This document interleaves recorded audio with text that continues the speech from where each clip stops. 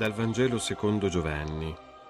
In quel tempo ci fu uno sposalizio a Cana di Galilea e c'era la madre di Gesù. Fu invitato alle nozze anche Gesù con i suoi discepoli.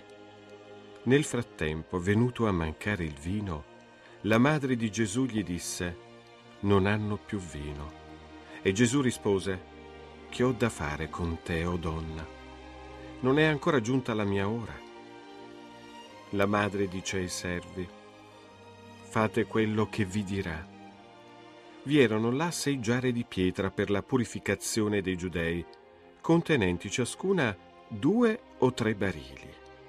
E Gesù disse loro, riempite d'acqua le giare, e le riempirono fino all'orlo. Disse loro di nuovo, ora attingete e portatene al maestro di tavola.